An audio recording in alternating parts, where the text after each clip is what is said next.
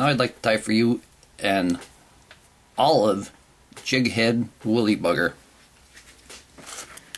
The jig I have in the vise is by Eagle Claw and it is a 1 16th ounce jig head and it's pre-painted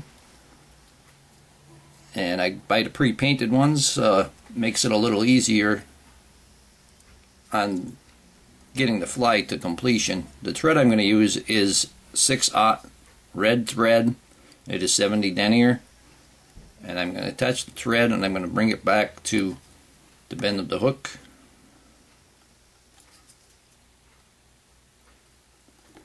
And using the red thread, I'm going to have a little bit more color at the head of the fly. And this would make a pretty nice, uh, if you had just a solid red head, it would make a good uh, egg sucking leech pattern. This being the egg already. And with the one eye, it would look like a yolk. Okay, so I have the thread in the back of the hook, and now I have uh, olive marabou. And what I'm going to do is take the marabou and I'm going to pull it all to one side. I'm going to pull it all to one side and gather it up.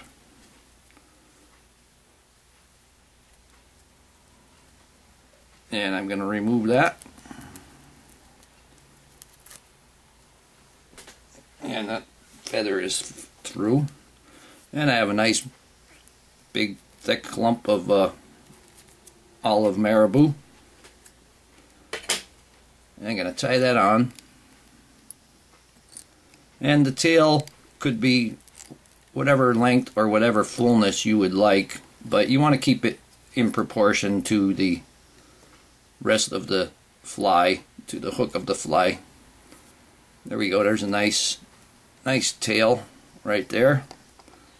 And now I'm going to take a olive dyed grizzly hackle and I take the hackle and just run my fingers down from the tip to the back and it stands it up at the 90 degrees and I'm going to tie it in by the tip and I'm leaving a pretty good size tip there. I'm not giving it the haircut. It's a little difficult to uh,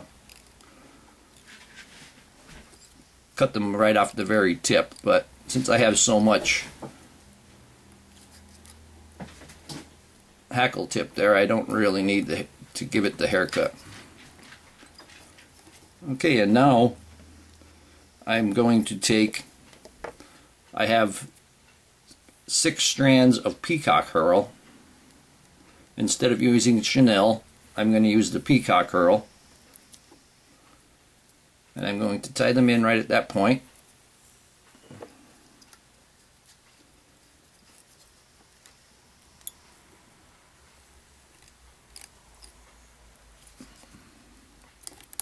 And tie them down pretty good. As you can see the uh, shaft is getting filled it's not quite at the diameter but that's it's getting close to the same diameter as the jig head in the back. And also one more thing, the jig head when you buy them have that uh, barb on the lead there. And uh, I just take a pair of wire cutters and I remove that. Very simple. Simply take the wire cutters and cut it off. Let me get it from the other direction.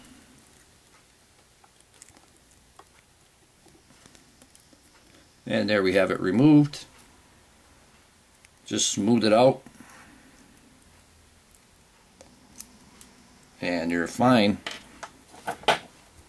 Okay, now I'm going to take the peacock herl and I'm going to wrap that forward. I'm going to take it and I'm going to twist them together there a bit. And the more you have, the easier it is to twist them. You can see them twisted up there. And I'm going to, I don't have my bobbin cradle set up on this vise, so I'm just going to extend the thread a little longer. And to make things quicker for myself, I'm just going to rotate the vise to wind the peacock herl. The marabou gets a little out of unruly, just moisten your fingers there a little bit. And that will put it into correct the unruliness. And we're going to wrap this right up to the head. You can see my bobbin is coming into view now so I'm going to extend it a little bit and bring it right up to the head itself Oop, back it off there actually a little bit okay I'm going to use my finger to push the thread forward. There we go. And bring that right up to the head itself. And tie that off. And these were long peacock herls. You can see I took uh, quite a bit of wraps with the peacock herl. And wrap in back, wrap in front, and remove the excess. Whenever you're using the scissors, always push the thread out of the way so you don't cut it.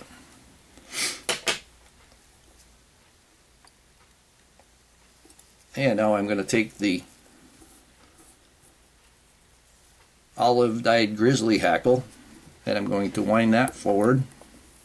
Make one complete wrap right at the back and then make open spirals as you're going. And this you can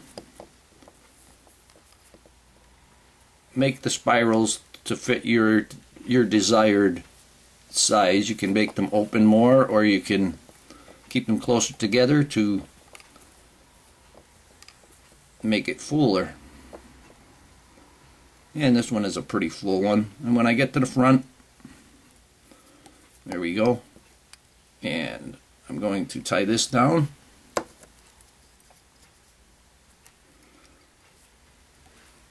Put a few wraps in front.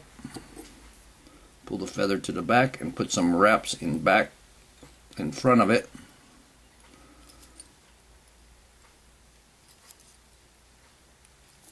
Okay and now I'm going to remove the hackle. And put the rest on the side for a another for another fly.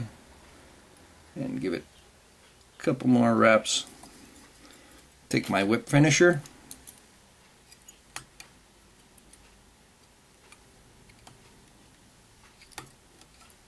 Take my whip finisher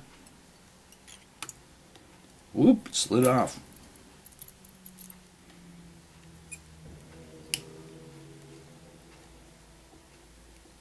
and give it a whip finish.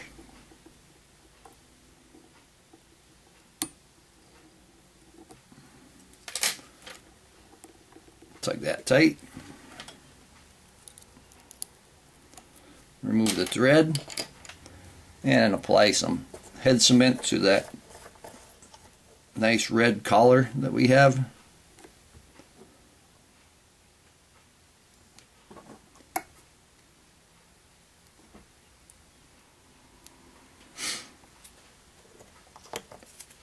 And here we have a olive jig head woolly bugger. I hope that you learned something from this video. I hope that you would subscribe to my channel. Please leave comments, questions, suggestions, and most of all, I thank you very much for watching my videos.